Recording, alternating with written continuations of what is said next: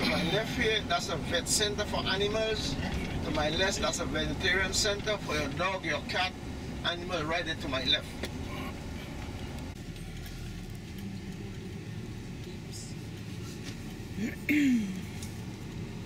There's a little gas station.